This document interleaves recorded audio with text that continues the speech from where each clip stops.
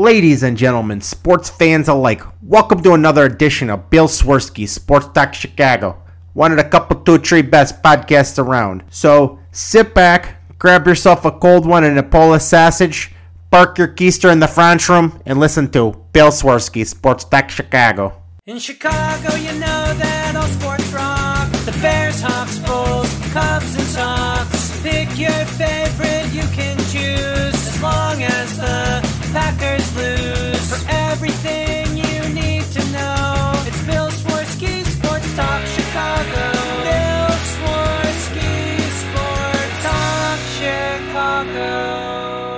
Hey, everybody. Welcome to another edition of Bill Swerski Sports Talk Chicago. This is your hosts, Alex and Sean. On today's episode, we have a ton to talk about, including some absolutely dreadful Blackhawks losses, the Bulls sliding into the playoffs, uh, opening day for Cubs and White Sox, and some Bears things to talk about. But first, I'd like to thank our sponsor, the Rockford Ice Hogs. If you're not familiar with the Rockford Ice Hogs, they're the AHL minor league affiliate of the Chicago Blackhawks. What does that mean for you? You could see the stars of tomorrow today at family friendly, affordable prices. Season is still going on, so head on over to icehogs.com, a hat, shirt, jersey, tickets, and more. Tell them Swerski Sports sent you. Alex, how does it make you feel that you have been to 100% of the Cubs' losses this year? It doesn't feel good. It doesn't feel particularly good. And I would like to add this note that since Thursday, this past Thursday, I've seen not one, but two Chicago losses in person. So off to a rip roaring start in 2022. Go me. What's the other one? Uh, I was at the Blackhawks game Thursday night, and that's another topic I know we're going to get on later. Because I was, was at that game too. You were? I was. Where were you sitting? Uh, 225 section. Okay, I was in the 300. I was in 305. Yeah, it was a last minute thing. My uh, my best friend, his dad is in town. Her mom and dad are in town, and their last day in Chicago, he uh he's like, "Oh, I got tickets, and we have an extra one. Do you want to come tonight?" And I was like, "Um, let me just make sure that my wife can pick up the kid, and if so, I can go." My wife's like, "Yeah, it's fine." So I went to the game, and uh, yeah, so I pretty much I left work. I texted him at like four, left work, went straight down there, took the L, and um, yeah, it was a terrible game. Awful. I mean, dreadful. I, I mean, it was it was a, a, a team that was even worse than you in the Seattle Kraken, and you couldn't get anything going. Weren't they outshot like something like 18 to five or something in the first period alone? It was first it was period. I think it was. I think it was like 17 to four or something like that. Yeah, I mean, the Hawks did make it closer, but that first period was brutal. And it wasn't even the score or them losing. It was just the way they played. I mean, they had almost two minutes of a five on three. Yeah. And I don't, did they even get a shot on goal? They got maybe one or two, if if that. They the, their inability to connect with a pass or to just make anything happen on the boards, just oh, it was nauseating to watch. But but the price of admission was worth it alone. Getting to the atrium just in time to see Marian Hossa sign that contract I don't know if you were there for that. Were you in the atrium when that happened? I wasn't. I got there like right as puck was dropping, so I didn't. Okay. Get the, I didn't get the pennant either. Oh, I, I got that hanging up right now. The pennant is really really cool, and that was it was like a little consolation prize for having to see that terrible game, but it was really cool because everyone was crammed elbow to elbow in the atrium you had a whole deck full of media people and not just Chicago media. I mean, people from the NHL, people from the Hall of Fame. I mean, it was a big get together in the atrium, and uh, everyone was going crazy when Hossa took the stage. He did his little, um, it wasn't really a speech, it was more of an interview. They were asking him questions up on the podium. You know, uh, you think you made the right choice uh, choosing Chicago? Oh, yeah, definitely. I make right choice to come to Chicago. And, you know, Marian Hossa talks and everyone keeps cheering some more. He signs the deal. Everyone cheers again. And then as he was walking out towards the side, I walked out of the atrium right after he left the stage. And as soon as I got into the hall, I looked behind me and Marian Hossa just comes right behind and walks right behind me. So I'm like, oh, wow, he's right there again. That's really cool. And then I know you were there for this, but finding out that his number was going to be retired. Yeah, that was really cool. Uh, that was, That was a, I mean, awesome. that was a little bit of a shock. Not that he doesn't deserve it, but there's not that many numbers retired, so it's it was a shocking in a I just wasn't expecting it way, not a like a not deserving it way. I kind of was expecting it because after he signed the contract, they said, keep your eye on the Jumbotron during the game because we have another announcement. When, when I heard that, I'm like, hmm, I wonder if that's going to involve banners and Hossa's name. And sure enough, sure enough, in all the glory, they showed the mock banner of what it's going to look like Marian Hossa number 81. Pretty cool. And also worth the price of admission, Justin Fields, Yes. our quarterback, did shoot the puck. And I assumed he would be doing the shoot the puck when I saw that he was there. So close to that time, I made my way over because he was literally directly across from me.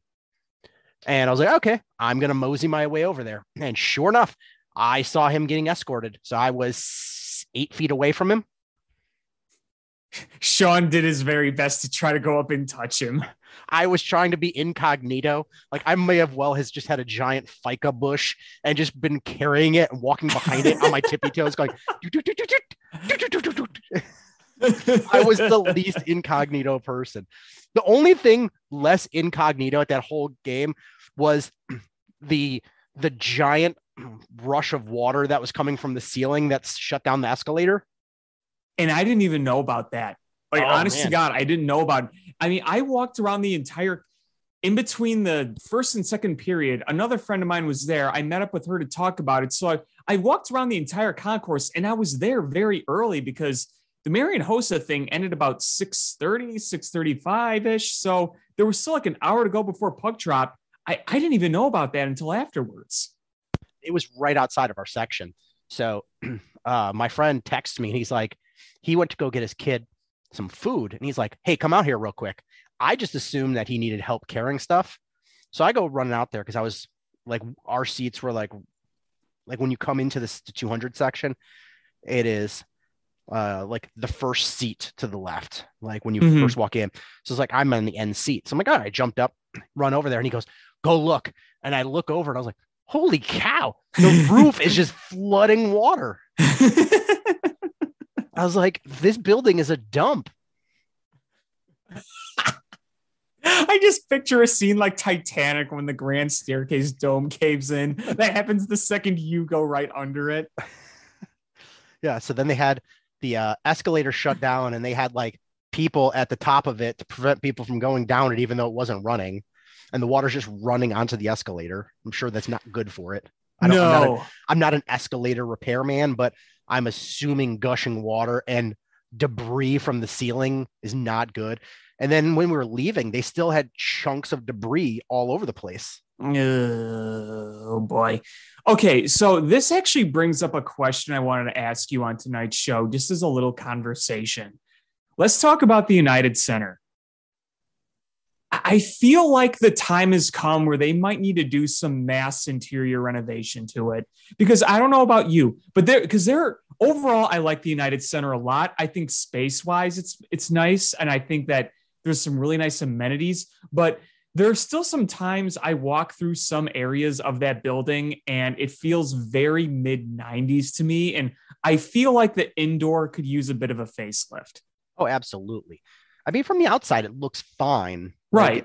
and it's a weird, it's one of those weird buildings where it's like, we feel like it's too new to tear it down and put something new, but it's old enough where it probably needs some work. You know, like, how much Mhm. work do you put into a building versus ride it out, ride it out and then just build a new one in a few years? I don't know the, the math behind that, but you're right. I mean, it sucks because I think the atrium was a cool addition with the giant Yeah. store. Um, I mean, I I don't know if it was executed the best way because um I, I like it better. like that game, they had it so you couldn't enter from the outside. Mm-hmm. Um, so you didn't have to show your ticket to go back and forth. Right. Right. You'd having to show your ticket as you're you go out to go into the store and then show your ticket again to come back. It just, you know, it's kind of annoying. Mm-hmm. I agree. So, um, yeah, that's, uh, um, you know, but I, I think there are things that you can do to, to make that better. Um, and hopefully, hopefully that they can do that because you have two franchises playing in one of the top sports cities in, in the country hmm and they're not and you know I, I would bet that the blackhawks are still in the top third of attendance and i'm sure the bulls are probably top five or six They're definitely top. I think they're one of the best attended teams in the league. so I mean, I, I think they're right. They, they might be first because they have the highest seating capacity yeah in the so NBA. you would think uh you would think that you know those two teams could make it worthwhile to to you know up uh, upgrade a stadium the problem is you know when do you do it you, you got to have it i mean you have to have it done during the off season luckily the seasons overlap but you know you really got to find something that you can do fast enough to have it done before the season starts Or, you know, you could do it like Wrigley Field. You could do it in phases. You focus on one thing one off season, another thing another off season. I, I mean, if you were to ask my opinion on what they should do with the United Center, I don't think you need to completely gut the building, but I, I think you can redo the concourses, like completely redo them because yeah, over the years they've added like a few things here or there to the concourse. Like, oh, they'll put on some like acrylic paneling to cover some of the the cinder block or you know they'll put in a little seating area that has uh corona all over it like the corona logos and the color scheme. It's like okay those are those are small things. I'm talking about like gutting the concourse itself and completely redoing it the the walls the floors you know maybe make it a little brighter too because i feel like parts of the united center concourse i, I don't know if you agree with this but uh, mainly the 300 level i think is the biggest one where it's just a little dark you know Oh yeah, and I mean, they should they should do things to alleviate all the congestion in the concessions and the bathrooms and make it a little more fan friendly. And uh, you know, I totally agree with you. And I'm looking at the attendance numbers. The Bulls for this current season finished the season number one in attendance in the NBA. there you go um, just ahead of the 76ers. And for this season, not over yet, but they've got a pretty comfortable cushion. Uh, they're going to be the Blackhawks are going to be fifth in the NHL. yeah i after everything that's happened with how bad the team's been with all the other stuff i you know it they still draw and i was you know the game the other night you saw it you were there It- thursday night it was pretty well attended You know, surprisingly, I mean, at first it was like, uh oh, this not looking so good. But then everyone started filing into their seats, and I was like, oh, hey, actually, they did. Um, you know, didn't do so bad. yeah And- yeah And the, and the attendance is down overall in the NHL. There's Mhm. no no team draws twenty thousand people a game. well i still think the pandemic plays a role in that Probably. And I also think too, with just you know things being more expensive, people don't want to pay nearly as much now because you know think about it. You go to a game, you're paying more than just the ticket. You pay for parking. You know, if you're taking public transit there, you pay for that. If you want to get food, you pay for that. You know, it's it's not as cheap as it once was. So I feel like those are all factors. And you know, eh, going back to kind of what I was saying about the United Center itself, I think in addition to the concourses, you could probably tear down the lower bowl, like the 100 level, and kind of rebuild that. I feel like you don't need to tear down all the seating in like the second or third levels, but you know, I, you know, I'd say put in new seats themselves. I'm not saying demolish the actual bowls, but put in actual new seats. I feel like you can do that. I also feel like too, maybe you could maybe upgrade a little bit of the ceiling. I know that sounds really weird, but you know, maybe with a new color scheme or or just do a few things that makes it a little more visually appealing. You know, I, I again overall I like the experience at the United Center, but I could definitely tell over the past two years, two three years I've been going, you notice some of the warts are getting a little bigger on it, if that makes sense. Probably because the crowds are more sparse, so you get to see a little more sometimes. True. I mean, that, that is true. And the, the other thing, too, is you're seeing more and more new stadiums pop up over the past, what, five years, whether it's NHL, NBA, MLB, NFL. You're seeing new stadiums. The United Center was modern for a while, but compare that to some of the most modern arenas, it makes it look very outdated now. And then, you know, think about it too. It's going to be almost 30 years old soon. Yeah, that's crazy to think that it's that old. Yeah, it's going to soon reach half the life of the old Chicago Stadium. I mean, you know, you could always just tear it down and then play in a 5,000 seat arena like the uh, Coyotes. That's a great idea for the third largest market in the country. What a what a great idea. Hell, play at uh play Bulls games at the DePaul Arena. Though I gotta say the DePaul Arena is actually really nice. It's nice, but I mean, what's the capacity on that? Nowhere near suitable for the NBA, that's for sure, especially for a team like the Bulls. Um, ten thousand three hundred. So it's half of what it sh- should be. Yeah, yeah, exactly. It would be cool though if they did like some exhibitions there or some preseason games. Sure. Yeah, that that would be neat. I think you would definitely fill that space. Oh yeah, in a heartbeat. You know, it's things like that make it cool. Be like, like if they did a Bears preseason game at Wrigley Field or something. Like, oh, that'd be amazing. You know, do something to make people want to come to the preseason games. Well, you know, it was always my dream. I know they'll never do this because of the capacity to see them do a throwback Bears game at Wrigley Field. I think that'd be the coolest thing ever. And the way I could justify it is, yeah, you may not sell as much seats, but think about the television ratings. I mean, isn't most of the revenue in television media anyway these days? I mean, you know, you could you could do it. I mean, um, yeah, in the preseason, you can't do it in a regular season game, but a preseason game, you could totally do that. They there's should. so many, there's so many, you know, there's so many empty seats anyway. You, I, I, like I take my kid because she loves to go, but I'm not going to take her when it's cold. No. Or when the games are a hundred dollars a ticket. I take her when I can get ten dollar preseason tickets, and she doesn't know the difference. She gets they give a giveaway, so she gets a bobblehead. She gets to get some candy and popcorn or whatever. She sits there for a while, and then if she gets tired, we go home. It doesn't matter. Yeah, it doesn't matter. It's preseason. We take. I mean, I remember going there, as a kid. So it doesn't cost. Yeah, it doesn't cost anything to park because we just ride the L. So it's you know ten dollars total to ride the L for the two of us. It's and it's you know for like forty bucks. She is a pig and shit. I'm like, there we go. I yeah, I mean, when I was a kid, my uh, dad's coworker had Bears season tickets, and he didn't really want to go to the preseason games, so he just gave them to us, and we always had a good time. I was at Jay Cutler's first ever game as a Bear, like preseason. It was against the Giants. First time we ever saw him at Soldier Field. I remember being there for that. It, it was really really cool. You, uh, we had the seats were right in the south end zone like not the first section, but like the section above it that goes back, probably about halfway up. So they were pretty solid seats. You know, I couldn't complain about them.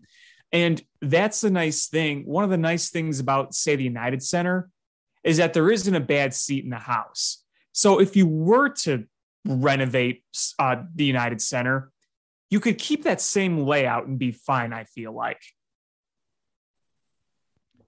Um, what my daughter did get a kick out of at the Bears games was when they call a timeout and the announcer goes, There's a timeout. And then everybody in the crowd yells, Where? And then they go, On the field.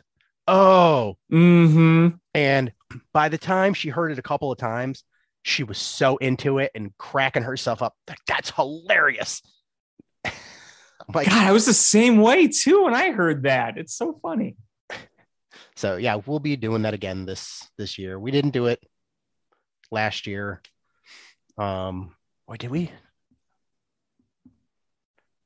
Hmm, I'm trying to remember. Did we do it last year? Last year I wasn't at preseason, but my buddy and I went to the family festival. Yeah, I missed the family festival. That was weird because the weird thing about that was it was during the day on a weekday. But yeah. it was when it was after the layoff and before I got my new job. So I'm like, man, I'm getting paid to do nothing. Let's go to the Bears, you know, preseason family festival. It was fun. It was a beautiful day. We had seats right next to the Bears tunnel. It, it was it was a good time. Uh, so, should we talk baseball? Because we've got the season here and we are a whole series in, and we've got the Cubs and the White Sox both with winning records already. Yeah, and I could talk about the other game I saw that was a loss. Um, so are the Cubs good? No, but I think they're better than people think. I don't know if they'll be able to continue doing what they did against the Brewers for the whole season, but I saw things I liked. Me too. Like it, it is a very, very small sample size, but Seiya Suzuki is a really good hitter. Yeah. And I feel like we could talk about the way he hits the ball, but the real conversation I think people should have first is how he sees the ball. Yep. I think they said he faced uh 28 pitches outside the zone. He did not he didn't swing at 26 of them. And uh one got called the strike. I don't know. It's it's he, he was his eye was so good. He just wasn't swinging at things outside, which would be my concern with him because as they try to figure him out, you know, probably the next thing they'll do is is throwing some some eye level pitches and see if he swings on things up. But it seems like his eye is very good.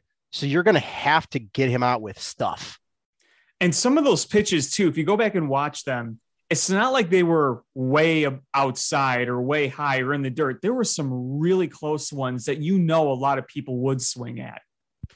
And that home run he hit, did you see what the exit velocity on that was? No, but seeing it in person, I could tell you it was a lot. It was uh, just shy of 111 miles an hour. I could tell you the second it left the bat, I knew it was gone. Everybody and their mother knew it was gone. I'm going to tell you something. Do you know when the last time Kris Bryant hit a baseball with that same exit velocity or higher? 20, tw- I'm going to guess something crazy like 2016. It was May 6, 2019. Okay, so not that bad, but still a while. And uh, uh, Dan Bernstein today was quoting a guy from, I think, Baseball Prospectus, who said Seiya Suzuki is um, an upgrade over Kris Bryant. Ooh, bold. Um, and so it's not a guy that's just making a statement. Like this is a guy that's using numbers, and I'm sure he's he's using a lot of the data that he got, you know, from his time playing in Japan. But uh, still, like the guy's approach at the plate, sure, everybody's going to hit a slump at some point, but the guy's eye, and it's not just power like uh, Patrick Wisdom, where he's got to hit a home run to get out of that he really he's just a he's he's uh the guy we thought we were getting with Jason Heyward except more power Right. Where he is just making solid contact good contact um just more power I mean the guy won a batting title and a home run or, like a home run race in Japan and a goal their version of gold glove so it's he's a good he's a good all-around baseball player He's So got all the happy to tools. Um, we Nico Hoerner looks like he was ready to play. Yeah, he's made some solid contact. Even yesterday, he lined out with runners on that, you know, could have been a difference if it fell in, but even though it was an out, he struck it pretty well. Yeah. Um, just all around the Cubs approach at the plate, scoring runs, not necessarily with the home run, making contact. They went against three all star level pitchers first three games. And if it wasn't for a bad Jesse Chavez inning, they could have very well been 3 and 0. Yep. And Yep. so you're like, okay, I like the approach. Um, the one person that was a little frustrating was actually Nick Madrigal. Yeah. Yeah. I think his timing is still a little off. I think he's still trying to get into the groove. And I mean, he's still kind of doing what he does. He's making contact. He did line out a few times, but you know, there were other times where he was just hitting weak tappers. And I think Ron Coomer said this that he could just tell his timing is still a little off. So not going to pile on him too much yet, but Nick Madrigal's the kind of guy where if he's not dinking and dunking and getting on base via the hit, you're not going to get much else out of it. Just, I didn't think about it until the, the series, but because he's a contact guy and he's a grounder guy, we're probably going to have to live with double plays. Well, I just that, that's I want him either batting leadoff or batting down. I don't think him batting in the two hole is the best spot for him. Agreed. Agreed. I mean, do we have a leadoff guy? Probably not. Ortega's fine. Um, I've actually been pretty impressed with Ortega. His his eye at the plate has been good too. I, I'm talking more of a overall. I mean, he was great the series, Mhm. but overall, like he's he's he's been fine. Like I, you know, you're you're not at this point going to upgrade over him. Um, so he's been he's been good. Uh, Yan Gomes looked good. We got to talk about Ian Happ. The Getting hit. And I just what he's done so far. Oh yeah. I mean, if we can get him to carry over what he did second half of last season, the entire year. I just we need Ian Happ to be consistently good because every season we've seen the mix of the really good and the really bad. When he's on, he's on, but boy, when he is off, he is off by a mile. True. True. Um but uh I mean he's he's crushing the ball right now. I mean he's got a 1800 OPS. I mean granted Yeah. it's two games. Um Small sample size. yeah. Oh, obviously. But I mean the just the approach he looks good. It's not fluke. So that's that's big. Um you know, Jason Heyward has looked competent. I still don't want him starting every day. I, I agree. I agree. I watched Alfonso Rivas yesterday. He needs to get more playing time. Alfonso Rivas needs more playing time. There's Um, there's one thing I want to express before I forget. I I think we're going to see some major regression from Schwindel and Wisdom this year. Um, I mean, you're definitely going to see regression from Frank Schwindel, but I don't think it's going to be that terrible. He's a good baseball player. Um, you're not going to see what he did last year. He was he was awesome. Patrick Wisdom. I mean, why couldn't he repeat that? I mean, the guy's just. I mean, the wind is the only thing that's going to keep him from not hitting home runs. Is that guy? That guy's uh, just, you know, an ogre. He makes contact, and you're just like, "Bazow!" When he that- makes contact, Right. It's going to be. Does he strike out forty percent of the time? probably. But even so, who you know, having that power in the bat in the lineup, when the lineup isn't strike out all up and down the lineup, it's it, you can absorb that. If he can still hit the home runs, I'm perfectly fine with it. But if he's not hitting home runs, then you're not going to get much of anything. Agreed. And I just, how many good pitches is he going to get to hit? I mean, if you've got guys working the count and you have starting pitchers burning 45, 50 pitches in the first inning, uh, yeah, he's going to see something. Well, you hope. I, you know, Frank Schwindel, I hope he turns it around. And, and Patrick Wisdom, I hope he can do what he did last year too. I'm really rooting hard for those guys. I just don't know how much we can rely on them. I just, I, I don't know. If Frank Schwindel can be like, if you, if he gives you like a 260 average and like 20 homer season, perfectly fine with me. I think that's reasonable. Let me I ask you a question. Yes. let's say that Frank Schwindel and Patrick Wisdom turn out to be not the guys we'd hoped they would be. What's worst case scenario? Eh, you, you, you just move on. Yeah, we are not financially tied to them. No. We can easily move on from them. I think this is the perfect year. We have low expectations. Mm-hmm. Um, we're in a weak division, Mm-hmm. and you you you know you clearly have glaring holes, and I think you're gearing up for guys to come up. So why not uh, give them as many at bats as you can and see what you have? Because Oh, If- I, I agree. I yeah, agree. if if if you give both guys the vast majority of the starts, and you go, okay, you know what, we've seen enough, not working. Okay, no harm, no foul. You know, you this was kind of a lost season anyway. But if they turn out to be at what you had hoped or close to it, then it changes the calculus of what you do next year. You're like, okay, well, you know what, we could actually rely on these guys, uh, or you know, we could platoon them. We have other things we can do. We don't, we're not stuck going, crap, we got to replace first and third. Yeah. I, you know, I, I just hope that that can happen. I really do. And I'm not saying it can't. I'm just a tad worried it won't. You know, it, I know it's too small to judge, but some of the Schwindel at bats yesterday and so far we've seen have been pretty ugly.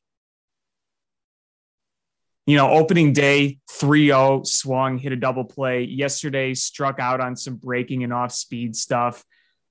You just hope it was a bad series. It, but you know, if, if these if these guys were 22, 23, I wouldn't be as worried. But considering they were such late bloomers and you knew they were kind of playing at a mm, guess you could say unsustainable pace last year at times, you, you just worry a little bit. But we'll see what happens. We'll see.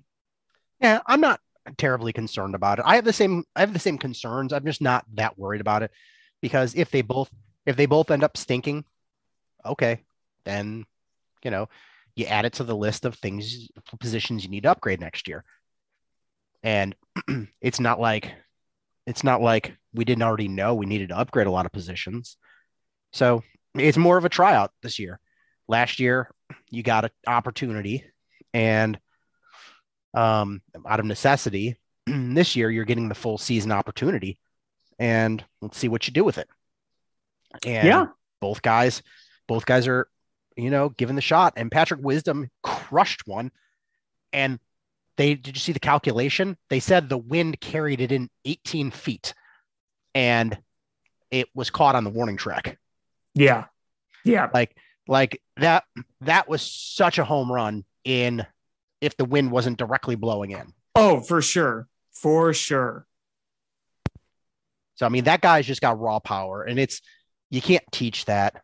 And if just as long as he makes solid contact, um, and I guess that's sort of the issue too. But you know, he's going to get his strikeouts. But if he can get those strikeouts down to thirty-three percent, and he keeps the home run, I mean, that home run pace he was on last year was unreal. Yeah, it was. What was It it, every was. every fifteen at bats or something ridiculous? Yeah, I mean, think about it. He had 28 in less than like 120 games. So Um, so I mean, his home run pace was was uh, ridiculous. Um, so you, you know he's not going to hit that same number extrapolated out to 162 games, but he's going to hit home runs. Let's see, 338 at bats and hmm, baseball reference. 338 at bats and 28 home runs.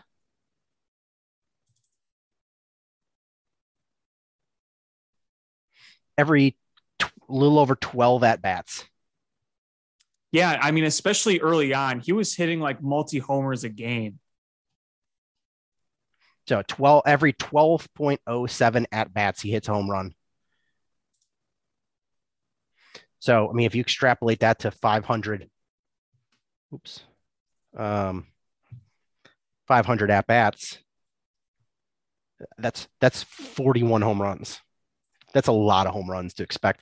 If he hits if he hits 30 home runs, 32 home runs, 35 home runs, um, I'd be happy with 20 plus, honestly. I mean, I mean, is it unreal for him to get 550 at bats? I mean, we'll see. I mean, that case, depends on what happens this year. in that case, he'd be on pace to have 46 home runs. Yeah, I don't think that's happening. I mean, Jorge Soler proved me wrong, and you know, that guy crushed a bunch of home runs, even though he's a similar guy to Patrick Wisdom. Yeah, I just uh I, I'm not I just saying gotta I think it's it. going to happen. I'm just saying is stranger things have happened. because you know you know who else was on a ridiculous tear at one point was Bryan LaHair. You remember Bryan LaHair. I do remember Bryan LaHair. So, but it, I'm rooting the hell for him. I want him to. I want him to succeed. Don't get me wrong. I just I I just feel like we have to be careful with these types of uh these types of players. And we have to we have to look at our expectations and you know not not necessarily be fully down on them but you know give some wiggle room to you know maybe allow for things to fall more than you desire just because of the circumstances but we'll see we'll see So, um, you know, we got good pitching performances. Justin Steele pitched great. yeah good for him yeah i missed that game i was at a wedding but i, I saw the highlights i saw what he did really locked in made me really happy to see kyle hendricks have a good game Stroman had a great game. Uh, Hendricks had a great game. yep Um, it was fun being there with Stroman. the crowd was really into it Um, so you know you've seen great pitching, and I know that's probably not that sustainable either. Uh, but we did see what Smyly can do tomorrow against Jose Quintana, number four pitcher for the Pittsburgh Pirates. mm-hmm So that means he's going to throw a no hitter, right? Oh, of course. You, you know, you you know that they're he's gonna get he's gonna own the Cubs. You, you just you know that. Um, uh, you know who else is on the Pirates too, right?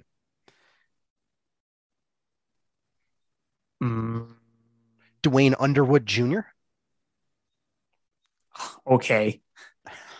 He's been, I know he's been there a little bit, but Uh, I just for, completely forgot about that name. well, remember there was a time where we thought we were, he was a pretty solid pitching prospect for the Cubs. Um, I know, and then he just pooped the bed. I also feel like too he didn't really when he was coming up through the system he didn't really have much of a spot on the team, so it was just hard for him to develop. But whatever. Anyway, yeah, So- Jose Quintana. Woohoo. Um, so you know, it should be a less. I mean, you know, I say that, but then they could go and, and get shit on by the Pirates. But um, it should be a an easier series than the the Brewers because on paper, Pirates are terrible. Yeah, but you know how annoying the Pirates are when the Cubs have to play them in that ballpark. You know, I I've- feel like the I feel like the Cubs play really frustrating baseball at PNC Park. um, that's what they do. They just play shitty baseball there. But it's only Unless it's the wild card. Yeah, it's a um, it's only a two game series, so it'd be nice to get the sweep on that. Absolutely. Um, on the other side of town, ah, you know, really, there's two things that could potentially hold this team back. Do you know what they are? Starting pitching injuries and I'll give you a hint. Glug glug glug glug glug glug. and Tony La Russa. and Tony La Russa. glug glug glug. Uh, he he takes to his glug glug glug like uh, a certain favorite pitcher of ours takes to the chaw. Yeah, I mean, they they took the, the L on the first game. but- Brutal game. Brutal. yeah, absolutely. And uh, you know, uh, but man, that team can score some runs. honestly, if Luis Roberts healthy, that team's going to go far. That's just how I feel, even with all the issues. If he's healthy, they're going to be fine. With him hitting up there and then getting Tim Anderson back, who went three for five in the finale, swung at the first pitch, hit a double. He wasn't waiting around. You like Tim Anderson being aggressive that way. He just he finds the right pitch, and if he sees one early on, he'll swing and hit it. If that's the top of your order, I don't see them losing a lot of ball games yeah, there's going to be some frustrating games. Yeah, you're going to have to win some shootouts if you've got guys like Giolito hurt or Lance Lynn hurt, which I mean, the injuries are again, they're, they're just piling up for the White Sox. You have Giolito's going to miss some time with the side, and he was absolutely rolling in the first game. I mean, he was looking like a legitimate ace. Everything was working, all those pitches, changing the eye level, the movement, it all looked fantastic. Um, and then, you know, obviously Lance Lynn's going to miss some time, but they could score runs to win games if that, that lineup continues to be healthy. And that Aaron Bummer and and uh, Liam Hendriks don't blow that many games, and it took it took the two of them to do that. Um, yeah, I wouldn't hit the panic button on Hendriks just yet. It, it, it was a bad performance, but it, it's one. And if I remember correctly, didn't Hendriks kind of struggle to start last year too, and then he kind of came around? I don't remember. He struggled at one point, but I don't remember I think it was might have been early. Um, so I wouldn't worry too much about that.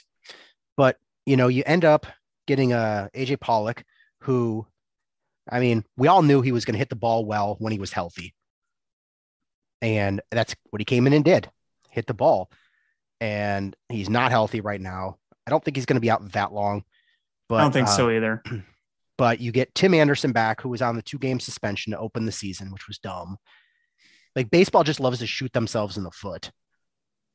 Uh, but he just comes in and he is the engine that drives that offense.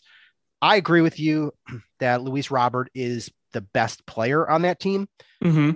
But Tim Anderson is the engine. Yeah, I mean, you wouldn't have called uh, uh, Fowler the the best hitter on the Cubs when they won the World Series, but they he was he was that engine. You go, we go. Mm-hmm. Yeah. And that's what Tim Anderson is. And yeah, he's he's an exceptional uh, spark plug. And Luis Robert looks good. Um, Jose Abreu looks good. Uh, Vaughn already two home runs in this out of in three games. Yeah, I don't think the Sox want to trade him. What in the world? I, I did you see the report that Oakland has interest in trading for him? Yeah, yeah. I mean, it just I the Sox don't want to give up Vaughn, and I don't think the A's are going to give up Montas for a small price. So, like, who who would you trade Vaughn for? Like, what would you expect in, to get to part ways with him, considering the how many years of control you still have on him? In in terms of specific players? No, just not not specific, but like what type of player? Like, oh, you'd have to get um, a front end pitcher with, you know, X number of years. Yeah, or... yeah, I, I, yeah, I'd say a, I'd say a top tier ace or number two with control, plus maybe another throw in like a, a reliever or like some player to be named later. But yeah, I mean, the main piece would want to be a front end starter with multiple years of control, certainly not a rental. Um, but the Cubs, uh, we're what four days into the season, and the White Sox and Cubs already have a day off on the same day. Yeah, isn't that weird? Um, but the home opener for the White Sox is tomorrow. And have you seen who the starter will be? Is it that guy from the Phillies? Um, Velasquez, is that his name? You're talking about the start for the White Sox, right?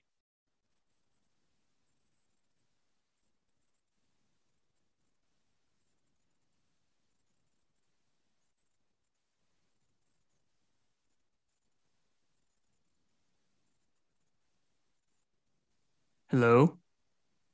Oh, I'm sorry. I hit mute. Um, yeah, you're nice right. going. Vin, Vince Velasquez. Silence. Vince Velasquez will be starting the home opener for the Chicago White Sox. Yeah. On what planet do you expect a World Series contender to have Vince Velasquez be the opening day or the home opener starter? Why? Why? Well, who else? Who else do they Dallas have? Keuchel. Mm, I I mean, mm, at least he gives you hope that he's going to be good. mm. Vince Velasquez goes, you go out there and you go, oh, Velasquez is pitching. Hopefully we score 10. Mm. But also, I mean, they'll probably score 10. but also, why in the world? I, I can't even like bang on Rick Hahn about this because this is clearly ownership not opening the purse strings. But why in the world do you go into the season with like, we have just enough starting pitching? So everything has to be perfect. You're like, if it's not, you're rolling with Reynaldo Lopez. And if two things go wrong, you are rolling with Vince Velasquez. That's not where you want to be. You should have brought in another starter. Hey, they brought in Johnny Cueto, who What probably won't pitch for another few weeks, but What is he, 38? he's like 36. Yeah, I mm, yeah, I, I don't know. I know some people are kind of optimistic about Johnny Cueto, but I'm not so sure. Is I don't think he's is it his grandma? no, it, it's actually fans, but I don't know. He's got Matt Latos written all over him. Yeah. A few years ago, it'd be a hell of a pickup, but I don't think he's pitched more than like 20 games in like I know he pitched like a decent amount last year, but other than that, he hasn't pitched like a full season in years. He was seven and seven with a, a 4.08 ERA last year. The year before, two and three with a 5.4. The year before that, one and two with a 5.06. Three and two with a 3.23. Eight and eight with a 4.52. And 2016 was the last time he was good. Yeah, it, it's been a hot minute. I, I mean, I know you had to get something, but yeah, I, I don't know. We'll see. We'll see how he does. If if he can just eat innings, I feel like that's a win for the Sox. Wouldn't you say? Because again, your offense is going to score. I mean, I, I still think, despite the pitching, at least for now, for the time being, if this were the case in October or September, yeah, I'd be pretty worried. But right now, early in the season, you're going to score runs. You're going to win games no matter what. You just got to get that pitching staff healthy. I mean, I, I, you know, He uh, it- he at, he he pitched 114 innings last year and 21 starts. So it's a little less than five and a half innings per start. yeah, well, we'll see how he warms up. You know, he's still got to go through what a few weeks to kind of ramp up because he didn't really have a spring training. Obviously, he signed like I think it was last week, early last week. So he's got he's got some conditioning and getting in shape to do before he he reaches the majors again. He's going to have to probably start with the Charlotte Knights and then work his way up. ZiPS projections have him at a 4.48 ERA with a 1.33 whip. Honestly, if you got that out of him, I feel like that wouldn't be the worst at Yeah. this point in his career. I mean, none of these projections look terrible. They don't look good, but they don't look terrible. They keep you with your offense. It keeps you in a game. Yeah, Um, you're right, especially until you get, essentially, until you get your healthy team back. You're just trying not to tax your bullpen. right, right. Um, but all of the projections have them either at 500 record wise or one game under. So, I mean, I know wins and losses don't really matter, but if you're if you're winning half the games you're pitching, even if it's the offense driving you with two starting pitchers out, you take that. Um, you know, the not the best of whips, but the strikeout numbers look good that they project. They all project project somewhere in the 70s with under 30 strikeouts. And in the 1.3, 1.4 whip range. I, I, I think you could have done worse. No, absolutely. I mean, I know that the the pickings were kind of slim, but he was the best free agent available. Yeah. Um, but this White Sox team is going to be exciting. And I, know, going back to the Andrew Vaughn thing, I, I don't know if I part ways with him. I feel like unless you can just absolutely rip somebody off, which I don't think will happen, I think he is more important to your roster for his versatility and his bat than whatever you're going to get for him. Mm-hmm. No, I So- agree. I think he's more important to your win now status. Um, doesn't mean you can't trade him a couple years down the road, but I think he's too important for you this year, and you reevaluate next year. I'm right there with you. Um, I had one more thing for the White Sox, and that is you saw them DFA uh, Micker Adolfo, and I was like, oh, they're going to lose him. He cleared waivers, came back. Yeah. So you still got him. how the hell did nobody pick him up? I'm not saying he's a superstar, but I I mean, doesn't he show you enough that that if you're a terrible team, you take a flyer on him? I Not like he figured makes a lot of somebody would. I figured somebody would too. Yeah. So that was that was shocking. I was assuming he was gone. Um, I was reading on uh, MLB trade rumors, and the the uh, the fan replies seemed to agree that you know, up he's gone. Somebody's going to pick him up, and I was I was dumbfounded when I saw that he wasn't. Gary texted me the the article. I was like, oh shit! I was like, that's that's great news. Like I I, thought they were going to lose him, and I think they probably were expecting to lose him. Yeah. I think a lot of people were too. I think the White Sox were prepared to say goodbye and then nobody wanted him. So it's like, well, we'll keep you. So that's that's good for them.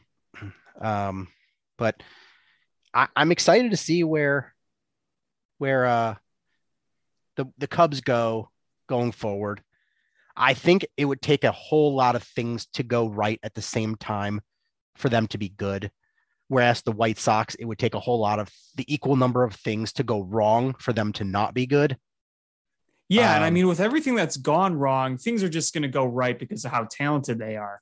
yeah the cubs are gonna they're gonna hit a rough patch and with a lot of newer bats on there it's gonna be interesting to see how they re- respond to those but i like the attitude they have um, i like that there's already a bond between uh, ian happ and Seiya Suzuki Mm-hmm. um, i don't know if you saw but Seiya Suzuki was sit- telling people that ian happ is his best friend and i like to see that you know Yeah, already, that- that- already it's awesome. Um, it's awesome. It seems like that they fit right in perfectly. Seiya Suzuki's part of the team and they embrace him, he embraces them. And, you know, that's not easy for someone coming over, you know, from overseas. And that doesn't speak the language. He has an interpreter. right, exactly. That, you know, that's that's got to be a challenge, but everything is going so well so far. You love to see it. Yeah, I mean, I like the camaraderie. Uh, I I saw that they were mic'd up the other day. Patrick Wisdom and Nick Madrigal were throwing warm up um, across the the infield before a game, and they had a Madrigal mic'd up. And it's number one, it's hilarious to just look at the size comparison between those two. I don't know if Patrick Wisdom's that tall, but he's just like build wise, he is just a monster compared to to Madrigal. Like he's got those Popeye forearms. But uh Nick Madrigal is like, well, what do you consider pop music? Like like uh Justin Bieber? And and Patrick Wisdom's like, I guess. And he goes, hmm, I think I'll stick with country. Nah. Uh, but I, I I do I do like the approach that they've had at the plate so far for the Cubs. I really do. It's gonna make it um you know, last the last several years, we have all bitched and moaned about how everything was feast or famine, and how many shows have we come in and you know, 75% of the Cubs games during the the last week, you know, we came on our show were games where they scored all of their runs or almost all of their runs on the home run ball. It's not sustainable. Um, unless you're like this year's Blue Jays that are going to hit 400 home runs as a team. Uh, yeah, that team is something. The Blue Jays, whew. they're going to pound some home runs. Like I, I'm, I'm hoping the Blue Jays win that division. Yeah, me too. Me too. I tired of the Rays and the Yankees and the the Red Sox. Imagine being in a world where you're saying we're tired of the Rays. Isn't that crazy? You know, I have no reason to be tired of them. Just want somebody different. Um, no, I get it. I get it. But I, I do like this approach where you got some guys that can smash the ball and hit a home run, um, including the new bulked up Nico Hoerner. Uh, whoever had Nico Hoerner hitting the first Cubs home run of the year, step forward for your prize because it definitely wasn't me. You're going to be like, you're going to be that guy who has Nico Hoerner just everything all over your house. now I'm not a I'm not a Nico Hoerner stand, but I was I was he did look like he bulked up a little bit in the off season. Yeah, absolutely. And uh, you know, I'd heard that before. I think Dan Bernstein said his son saw him at the place he practices at taking batting practice. And he's like, yeah, he looks like, like a linebacker. He's bulked up. And I was like, oh, I wonder if he was able to turn that into actual like applicable strength and not just gym strength. But I mean, so far got a home run. I like that. I'd rather have him stay healthy though than than drive up the power numbers too much. Right. Yep. Um, but I'm just excited to have baseball back. Me too. It feels great. I love scoreboard watching. I love watching all the highlights. It's it's great. Um, so do you want to talk Bulls or do you want to talk Bears? When we talk Bulls, we got playoffs coming, and uh, I don't think it's going to be here to stay very long. Yeah. So, you know, as we started getting down to it, um, we uh it, was looking like we were going to play 76ers or the Celtics or the uh the Milwaukee Bucks in the playoffs. And I, mean, I guess the the Celtics was probably your the one you'd probably like to play the most because um, with injuries, you feel like you could at least kind of match up with them, even though they just blew, blew you out last time they played you. But this Bulls team has just been trending the wrong direction. They're not just losing, they're getting embarrassed. Oh, yeah. I mean, I didn't see it live because I was at a friend's house, but briefly following at certain points what was going on against who was it at home? Was it Charlotte they were playing? Was it the Charlotte Hornets? Yeah. Or I mean that that's embarrassing. You should be laughed out of the damn building. And I'm not going to go on a full analysis of this yet. I don't want to sound too overreactionary, but there is some clear turning on Billy Donovan you could see from the fan base. I mean, I don't know how much of this is on him, but the problem is is you don't have any interior defense. No. And it without a healthy Lonzo Ball and without a healthy Alex Caruso, the reason that you were able to at least have semblance of interior defense is they clogged the passing lanes. And so they made it hard to get to to move it down. But with the other Bulls guards, you just you have no there's nobody to stop you from passing down to the post. And then once you're down there, it's Vooch is like might as well be dunking on like a third grader. It's just, you're gonna you're gonna score, and uh, it's it's bad. And Giannis is going to eat them alive. And you looked at the Bucks, and they were like, "All right, Demar, score fifty. We don't care. Right, we're going to win anyway." And you know what? The Bucks weren't even playing hundred percent. They were just kind of lollygagging. Yeah, and they, they still, still beat destroyed us. you. Yeah, I th- I think it's going to be an absolute bloodbath. I, I mean, it's, it's, gonna going to be a sweep. embarrassing. It's yeah. gonna be a sweep. Um, you know what though? What if? Do you remember the the year that the Bulls played the Celtics in the the, the uh, playoffs, and everyone ex- 2009. Mhm. and every game went to like overtime or double overtime, except I for the one. very well. I went to one game in that series. It was the one where the Bulls got blown out. Of And- course. And Gary had season tickets at that time, and he was just like, I'm never bringing you again. This is your fault. It's like, sorry, man, I'm a jinx. And every other game was just like this awesome, you know, multiple overtime game. So we would have won that series if it wasn't for Sean Hopman. That's Yes, good to know. I ruined everything. Ugh, God, idiot. But I I don't can't see- talk. I don't see that happening this year. I I just the Bucks are a good team. The Bulls are not. Maybe they surprise you and and take a game, but I this is this is not going to be a series. No Lonzo Ball, a hurt Zach LaVine, and Alex Caruso who isn't 100%. Yeah, I And Vooch, just you can't play defense. Vooch can't play defense. I love Ayo. I'm not saying he's bad, but let's be. He has know, hit the rookie wall hard. he- yes, he has. Yes, he has. And Coby White just forgot how to play. yeah, he did.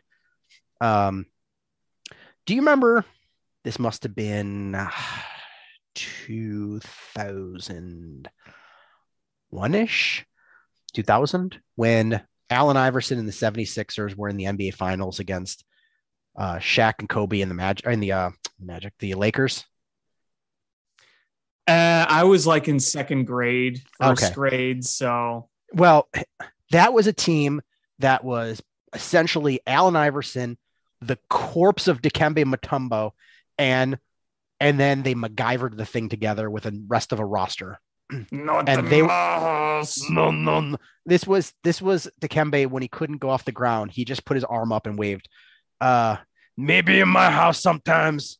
Um, but and then you were p- facing the juggernaut, and Allen Iverson came out that first game and just attacked, attacked, and attacked, and they totally caught the Lakers off guard in one game one. And then they got smashed after that Yeah. but I feel like maybe something like that could happen is the Bulls just change things up, catch them off guard, and just steal one game. But I, I just I can't see them even contending in the series, unfortunately. I I'd be happy if they won a game. I'm not even expecting it, but I'd be happy if they won. I please prove me wrong. You know, we we won't know officially what happens until it happens, but I'm just not counting on anything right now. I'm just not. Milwaukee's too good. We have too many issues. I this is the last team I wanted to play, truly. And there was never going to be a good matchup for the Bulls, but it's just another chapter of Wisconsin taking down Chicago yet again. I didn't want to play the 76ers just because I lived in Philly. That's fair. And, and I think uh, Joel Embiid would just just destroy them. Just oh yeah, yeah. And it would be embarrassing. I- Think about what Giannis is going to do to you. Multiply that by two with Joel Embiid. Yeah. Um, because Giannis is not going to live down the paint like that. So it's just, I just didn't want to see that because the Sixers are hungry. This is this is like one they have an opportunity now to to show everybody that the process worked after 400 years. Um, so I think they're hungry. Um, so I I don't want to face them. They they're a bad matchup for you. Eh, But- that's fair. but it, I'm not saying that the Celtics were a good matchup or the the Bucks are a good matchup or the Heat were a good matchup.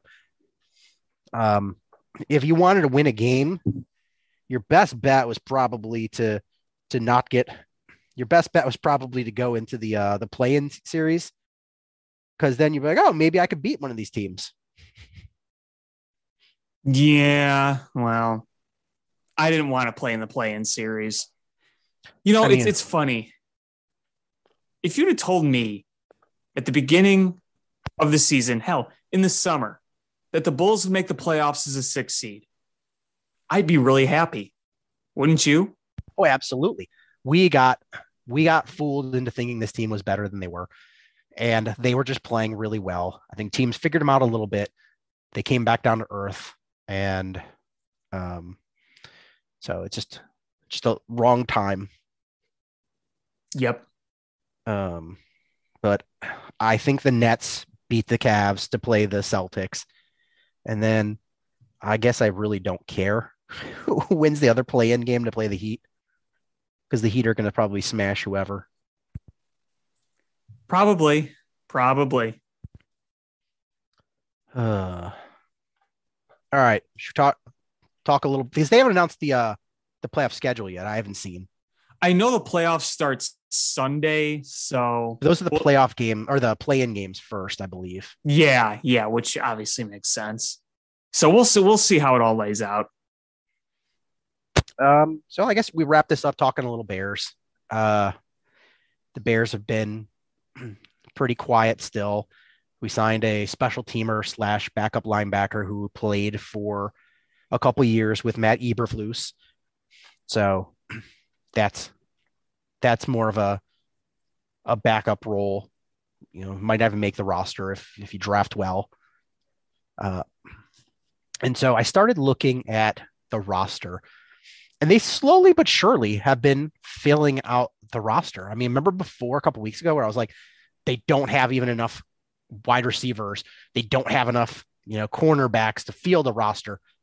They're slowly but surely being able to feel the roster.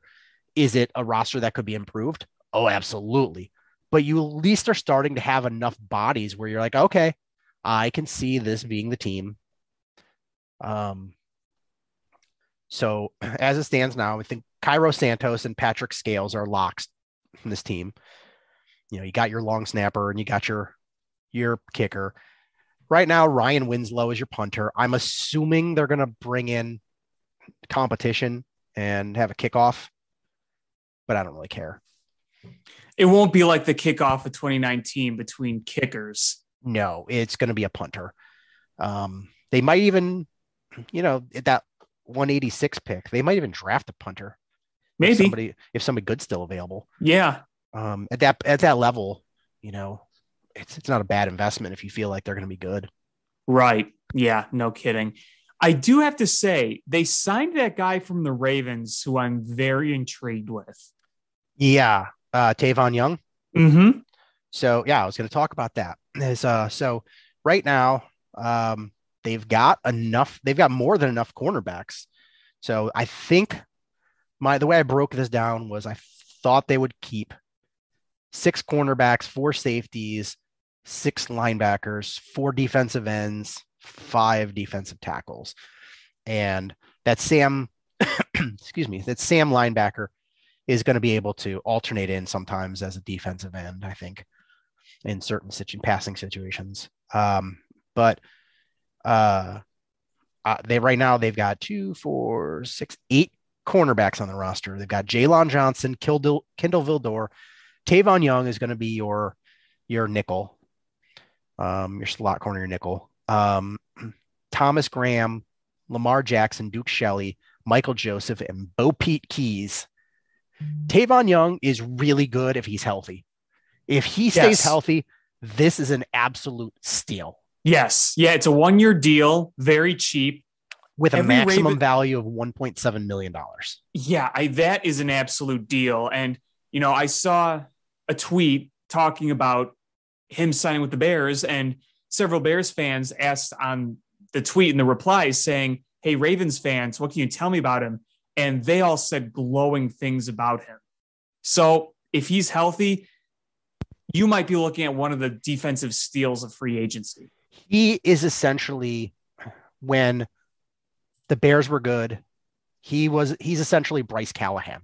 Mm-hmm. Um, and if he stays healthy, just like Bryce Callahan. Mm-hmm. So if we we get him healthy, that is going to be a steal. And if um, you know, I, I still think corner is a spot that you need to shore up. I don't.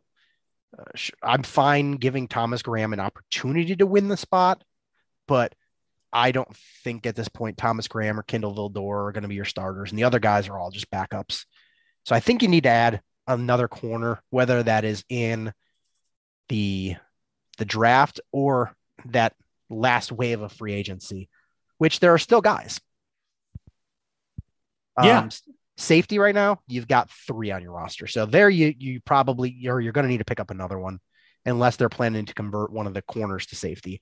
But you got Eddie Jackson, Dane Cruikshank, and uh, DeAndre Houston Carson, who I'm fine with all three of those. It'd be nice to add another box safety, but um, that's fine. Uh, your linebackers right now, your starting three are probably, I'm gonna guess, Roquan Smith is your middle linebacker, your Mike, Nicholas Morrow is your Will, and Caleb Johnson is your Sam, and your backup three are Joe Thomas, Matthew Adams, Ladarius Mack. I think they're gonna move him to Sam linebacker, and Noah Dawkins. Your your edge rushers, your defensive ends, Trevis Gipson, Robert Quinn, Jeremiah Attaochu, Al Quadin Muhammad, Charles Snowden, and Sam Kamara. So I think you're actually okay with pass rushing. Um, I think you're going to see a marked improvement from Charles Snowden, and that's what I'm hoping for. Um, and I would not be surprised if they moved him to Sam linebacker because he's really athletic. and your defensive tackles are Khyiris Tonga and Justin Jones and Angelo Blacks and Mario Edwards Jr. So LaCale London and Auzoyah Alufohai, who they picked up this off or the as a futures contract. Um, could they beef up their defensive line? Probably. Do they need linebacker help? Probably. Safety help? Definitely. Cornerback help? Definitely. Um, you know, there's there's actually some free agent cornerbacks that I think are could be all right. Uh, Steven Nelson. Um, I, I only put guys that uh, are under 30 and that are still available. So you've got Steven Nelson, Kevin King from the Packers last season, Trae Waynes, and Vernon Hargreaves. Um, there's a couple of safeties that might fit the mold Landon Collins, Terrell Edmunds, um, DeShon Elliott. Um, Larry Ogunjobi is still out there. I would not be shocked if the Bears brought him in either an incentive laden deal or on a one year deal. Um, but I feel like they're probably going to beef the rest of their roster up on defense with the draft, which is fine. Um, on offense, the current batch of wide receivers they have are Darnell Mooney, Byron Pringle, Equanimeous St. Brown, Dazz Newsome, Nsimba Webster, Isaiah Coulter. Uh, you you definitely need to get at least one more guy. I would not even be sad if you got two um, in the draft. Your tight ends, you got Cole Kmet, Jesper Horsted, and Ryan Griffin. I'm okay with Ryan Griffin. They just brought in, but I I'm a little surprised they didn't give an opportunity to Jesse James because he had built like a nice rapport with uh, with Justin Fields in the preseason, at least. Um, and he's still under 30. He'd come in a cheap contract. Uh, I'm a little surprised they didn't give him that opportunity, but Ryan Griffin is fine. Um, Jesper Horsted, TE1, baby. Let's go. Seriously, uh, no, I mean, I, I truly feel like Jesper Horsted could be a very effective tight end if he's just used more. When the, the opportunities he's been given, he's made well of them. He's gonna be he's gonna be that move tight end. He's gonna be the the one that goes more into receiving routes. Um, so don't be shocked if you see good numbers from him. Yeah. I mean, remember how good he was in the preseason last year Absolutely. when they actually used him? Yep. And then the team as a whole forgot how to use tight ends. Yep. Yep. And hopefully, hopefully, this new regime can get more out of Cole Kmet because Cole Kmet was really frustrating to watch last year. I think the most frustrating thing to watch was him not being able to create any separation or to just overpower somebody, overmatch somebody. That's what you want a receiving tight end to do. You want them to, you know, outmuscle the other guy. And he was just never able to do that. Yeah. So I, I think they're set at tight end. I don't, I, maybe they take in undrafted rookies, But I think those are the three you're probably going to carry onto the roster. Um, I'm assuming they're going to take four tackles. Teven Jenkins, Larry Borom right now are your starters. Your backups right now are Lachavious Simmons, who I'm okay with him being on the roster as a fourth tackle, but I think you probably want a veteran swing tackle I agree. Because otherwise it's Lachavious Simmons and Tyrone Wheatley Jr., Mm, yeah, uh, I don't like that. whose dad Tyrone Wheatley I was a big fan of because he played running back at Michigan. hmm Oh yeah. Um, so I think they desperately need a, an, a veteran swing tackle. Again, I'm going to say I would love to see Jason Peters. I know he doesn't fit their mold, but I wouldn't be surprised if that guy signed a one year deal and played mentor and only came in to, to back people up. Um, guards, I think they need to beef up the guard spot because right now it's Cody Whitehair and probably Dakota Dozier, uh, your starters, and Dieter Eiselen and Willie Wright as your backups. Um, I'm assuming they're either going to sign another free agent guard or they're going to draft somebody fairly high because I don't see anybody starting opposite Cody Whitehair that's on this roster to start week one. Um, center, Lucas Patrick, Sam Mustipher. I would imagine you're going to bring in a undrafted rookie center to compete with Sam Mustipher. So I, Lucas Patrick is your center, unless unless you find a stud center in the draft and then kick Lucas Patrick over to guard. I'm fine with that too. Um, QB, I think they'll keep two. So it's probably Justin Fields, Trevor Siemian, Nick Foles is probably going to get traded or cut.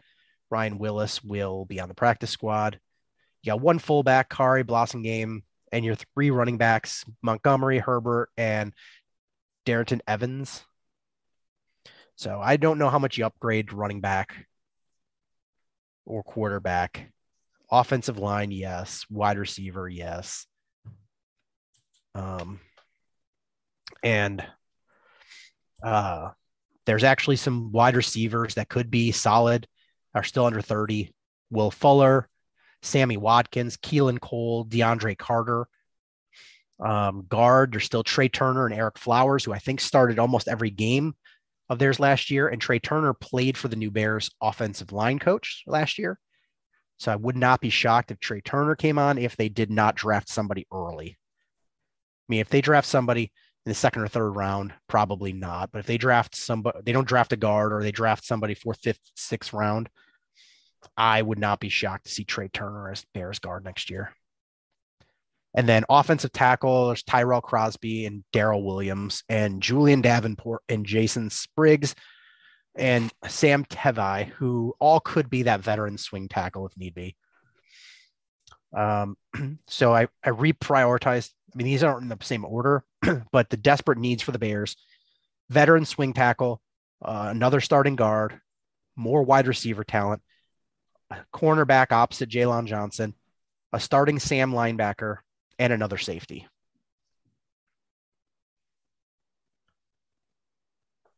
I think it's all reasonable. Um, and then I did a mock draft without any trades or anything. Um, and I picked uh, at 39, I had Kenyon Green, who's a guard from Texas A&M.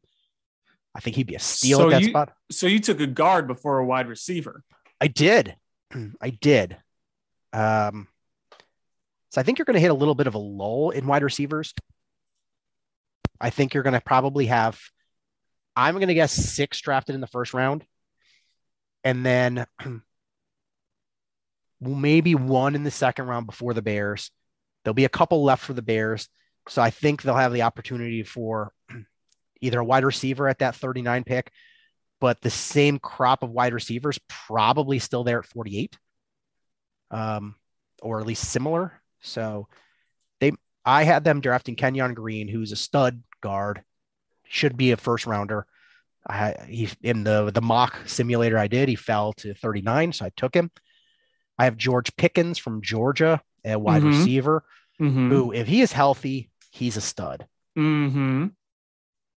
um, it is just the injury, the reason that he will not go in the first.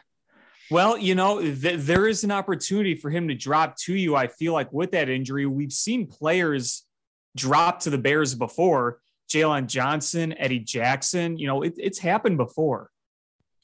And George Pickens has the best hands in the draft.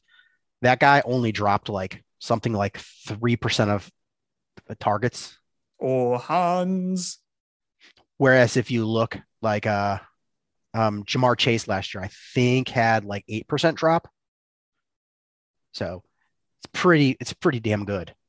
Um, he's got the size, he's got the speed.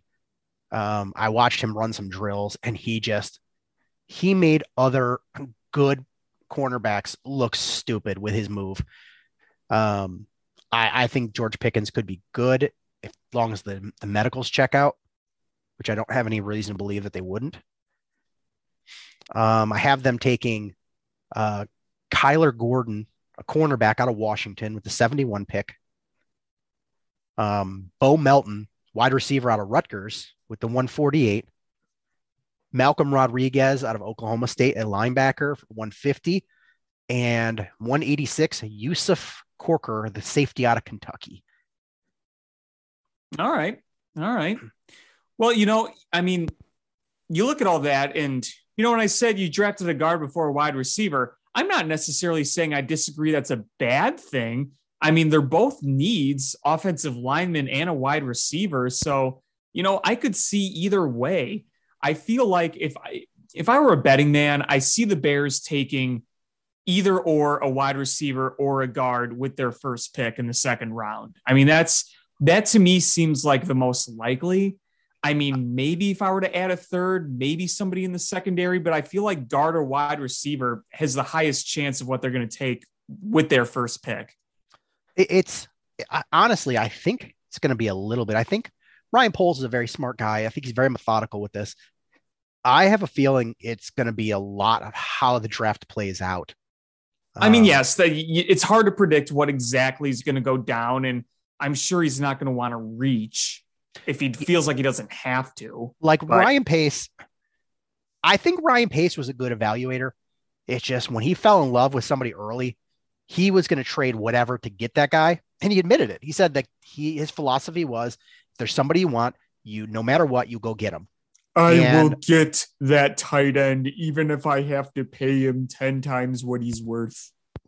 And I'm all for getting the guy you want, but you know what? Have a backup plan because it's it's not worth it's not worth trading every draft pick from that year and your first round pick the next year for Ricky Williams. Like, you know, it's just you don't you don't fall in love with a guy so much that it screws over your entire plan. And if your entire plan revolves around you getting that one guy, then it was a shitty plan to begin with. You know?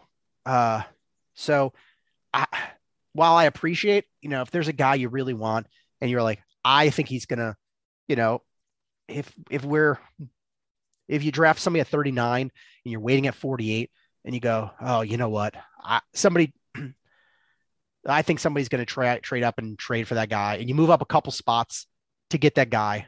Okay, no harm, no foul. You you know you trade a next year's fifth to move up a couple spots. Okay, I can live with that. But uh, you can't do it consistently, and you can't keep doing it with first and second rounders, and trading completely back into a round.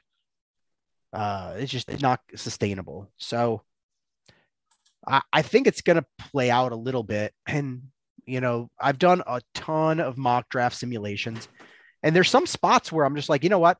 I don't like any of the picks available 39. I feel like anybody that's in a position of need is a reach, and all the players I was hoping would fall to me aren't there. And in those situations, I'm like, okay, let me just trade back a few spots. And I, I don't trade back a ton, but I'm like, all right, I'll trade back eight spots, 10 spots and see see how that shifts. You know, if I can pick up uh, another pick in this year's draft by going back to pick, take the same person I was going to draft anyway, okay, that works for me. Um, so I think a lot of it is going to see how this plays out. If the wide receiver that they love is still there at 39, they'll probably take him. But if if their first you know, the realistic expectations of wide receiver are not there. All right, well then who else is there? Is uh Roger McCreary from the cornerback from Auburn there? Okay, he could be a, a pick. Um, a couple of the guards, are they there? Uh, Mhm.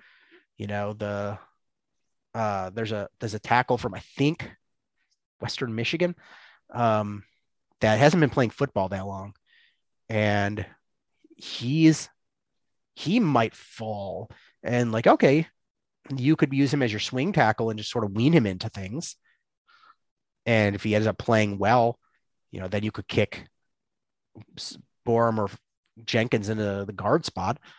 Um you know I, there's a couple different ways you can go and I think it's going to be how it plays out.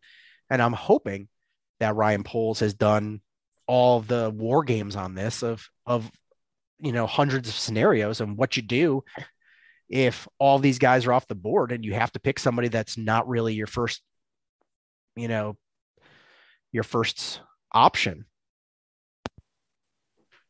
Yeah, no, I mean that's that's very fair. um, on a lot you don't know mocks, I- how you don't exactly know how it's going to play out because you made that point earlier how with Green Bay and the Chiefs potentially taking wide receivers, guys could drop and that can just change the way things go. You know, and there's always a, a Raiders who might draft somebody where you're like, what the fuck were they doing? Like when they drafted A- Alex Leatherwood, and everyone went, what are they doing? And they drafted a guy that was probably like a third round pick in the first middle of the first round, and maybe maybe a second round pick, but they drafted him like a whole round early, not just a few picks, and that throws off things. Sometimes it's a it's a you know you get a run on players because uh, if you're like, okay, you know, you I need a wide receiver, and then you start seeing a run on wide receivers, then you see teams start trading up to make sure that they get one they want. But if the first domino doesn't fall, maybe they last a little longer.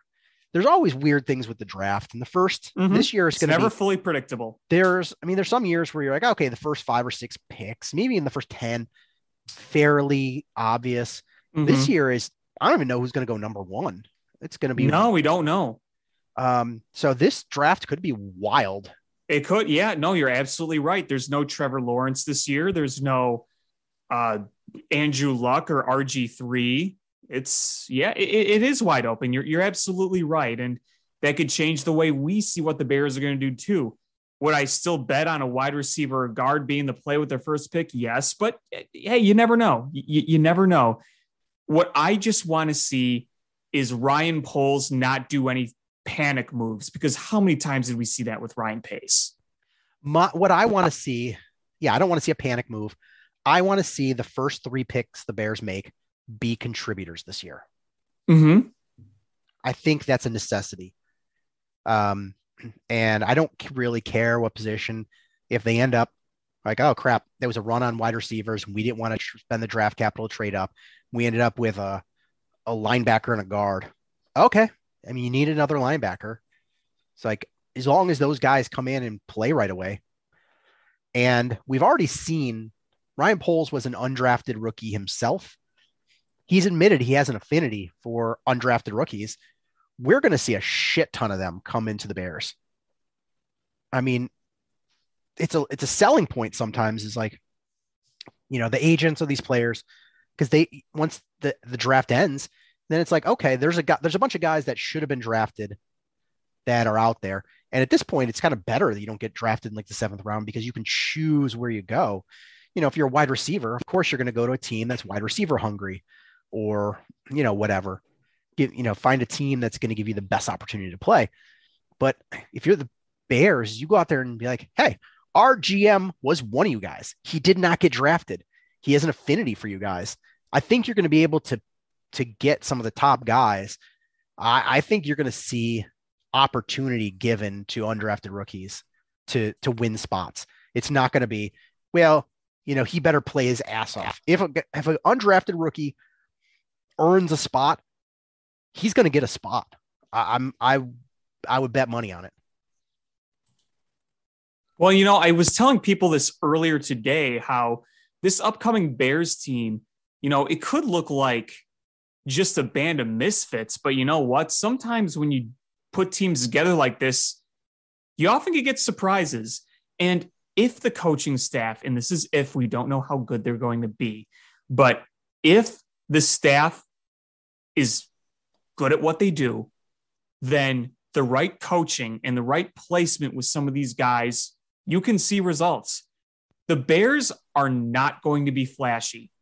Sure, Justin Fields could be the flashy one, and you know he's the most important position. But overall, as a team dynamic, you know I don't see a scenario where they're going to have a number one receiver that's top five in the league in yards and touchdown catches. I don't think you're going to see a defense that's going to turn as many absurd balls into turnovers like you saw whether it was 2006 or 2018 but you could see it function just like a well-oiled machine not flashy not great but effective i'm not saying that's going to happen it could be another miserable year i'm not counting on a lot of great things on happening but it is the nfl and it's possible and you can find ways to win without just having the flashiest guys and there's an opportunity here to find a lot of diamonds in the rough. You might find a lot of diamonds in the rough. You might find a few diamonds in the rough, or you might not find many at all. We won't know until they actually play, but it'll just be interesting to see how this Bears team functions as a unit. And because you have a new coaching staff, it means the possibilities are kind of endless right now. There's a lot of directions this could go. It could go bad, it could go okay, it could go great it's not like we're building this team with the same coaching staff around. If you were doing this, you'd feel pretty much hopeless either way. But with a new coaching staff, maybe they get the most out of a number of these guys. The biggest driver of what this team is going to be look like, you know, if they're good or not, is going to be the offensive scheme and Justin Fields' improvement from year one to year two. Of course. That is it. If the offensive system maximizes his talents and protects him, and he takes improves ball security, which I think is doable. Um, yeah. Mm-hmm. Um, and you let him be aggressive with uh, better players, better playmakers. I I could see a marked improvement. And I don't, I'm not even looking at wins and losses of this Bears team. I'm looking at being competitive. If right. you lose a game 27 24, 24 21, but your offense did okay and your defense just didn't make enough stops, but you're competitive and it was close in the fourth quarter, okay. It's I just don't want to be embarrassed. And, and there was the last three years, there was way too many games that I was just absolutely embarrassed as a fan. And I just don't want that. That's all I want. Nah, yeah. Don't be embarrassing. Yep. I, I'm right there with you, man. Truly am. If you see progress, even if it's not in the, it's, it's kind of like the Cubs this year. If you see progress without it being in the win loss column, then you're going to take that as a win. I, you know, frankly, Sean, I'm not getting myself too overhyped about the Bears. I'm not. I just don't feel anything right now. I don't feel overly optimistic. I don't feel overly pessimistic. I'm just going to sit here and see how it plays out. Like, I just don't have that many feelings right now.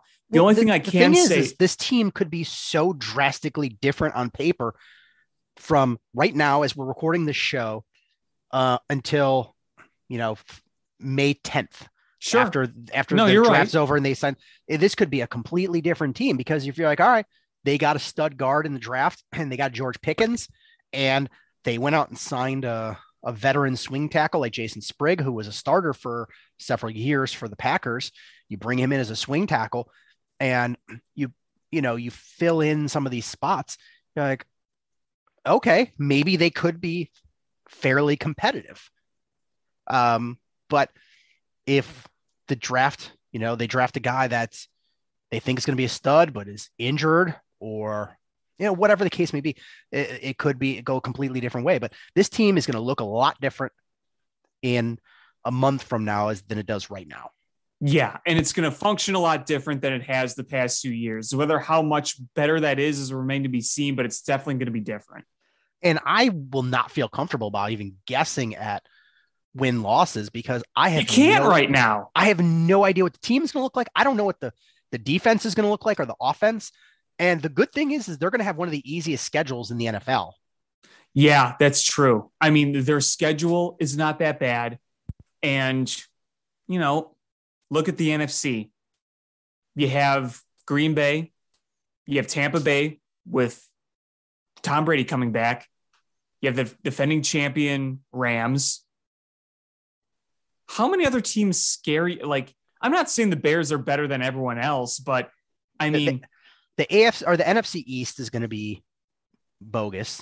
dog turd tacos, as you like to say. I Um, mean, the Eagles yeah. will probably go like eight and nine and win that division because I just I I think the Cowboys are going to fall hard next year. I just have that feeling. The Giants aren't going to be any good. And we'll see what happens with the 49ers. They're a well coached team, but I mean the com- Is- the Commanders. no, the 49ers. Oh, thought you were talking about the the East. no, no, I'm, I'm just Oh, talking about yeah. teams in the, in the NFC in general. The Eagles yeah. might be okay, uh, I, but they're gearing up to get rid of their quarterback. Uh, Right. they're they're they're totally trading for multiple draft picks in the first round next year, so they can move up. So Right. they they they don't think that they've got the quarterback, so they might be okay, but not good. Right. um, right. The Commanders are going to be meh. You mentioned the Commanders. I just they- think they're going to be They meh. might, yeah, they might be. It's funny. The uh, NFL.com still lists them on the standings as Washington football team. Hmm. Um, uh, the Packers. I mean, they gave up some key defensive pieces, and they lost Davante Adams. And You have Aaron Rodgers. That's all that have- matters. I mean, they're going to win the division, but if Aaron Rodgers gets injured, Oh, they're screwed. this team is going to go off the the the the rails. Like it is going to be bad. right. And Um, I, I- the Viking, I, the Vikings. I don't think the Vikings are going to be bad, but I don't think they're going to be world beaters either. no, they're sort of gearing up like the Bears for future. The Lions are still in a rebuild. Mhm. They're they're really trying to tear this down to the studs. Mhm. The Bucks are going to be good. The Saints are not going to be good.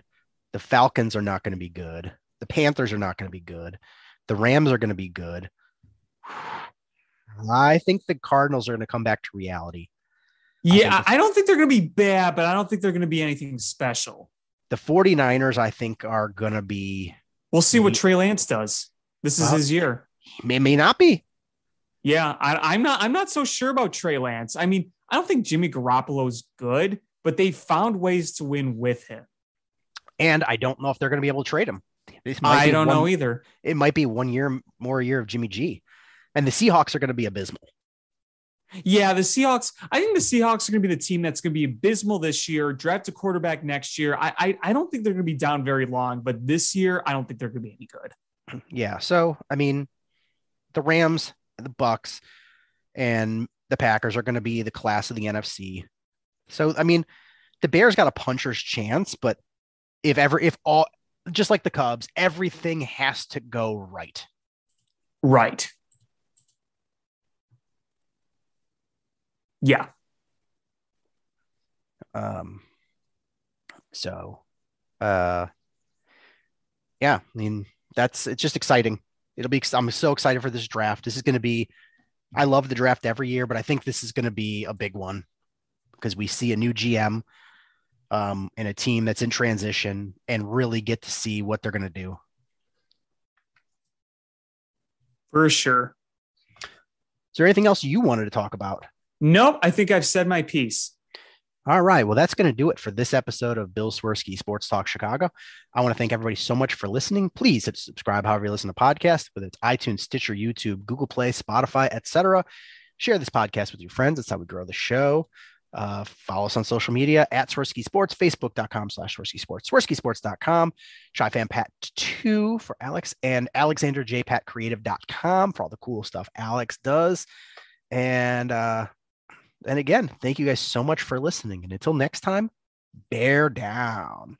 Cubs win! What a lucky break! The good Lord wants the Cubs to win! We thank Ditka and God for all they have provided.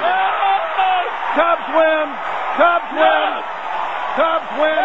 Oh, I don't want her. You can have her. She's a Packer fan. She can't fit in my van. And she looks like number New Yorkers. Smoking crack is not legal on planes. Bears 31 to negative 7. The Bears! Oh, when the bears go bearing down